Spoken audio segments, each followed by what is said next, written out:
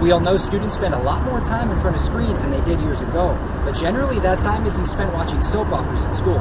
Visit the lunchroom in senior high during lunch hour, and the conversation can sometimes sound a bit like a soap opera. What's less expected is to actually have one playing on a television while students eat lunch. Inappropriate content to be played on a public school television. Nicole King first learned about it last week from her son. There was steamy content, cringy content is how he initially termed it on the televisions at lunch. It's not like he's unaware of sexual content out there. It's just not appropriate to be on a school television. New Superintendent Erwin Garcia says the district is now investigating, trying to learn how the channels were changed. Programming is normally set to either CNN or Nickelodeon. Based on the fact that the remote control were not handy for the students and somehow the channel was changed, gives us the indication that someone must have, have gained access to the network through or to the TV through our network and be able to change the channels. Garcia says smartphones connected to the same network as the TVs provide openings for outside interference. He says he's confident staff at the school weren't knowingly letting the students watch the content. No adult wanted to, to, to put kids on a position where they would see a romantic scene on TV.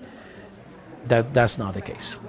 We are disconnected the TVs until further notice, until we figure out what's going on. But Nicole King isn't so sure. She says an isolated incident is one thing, but argues more than once is unacceptable. It's not an isolated incident. It's been occurring for a while, and nobody has changed the channel, interrupted that. I don't really see any reason to have TV programming occurring. In Billings, Phil Van Pelt, MTN News.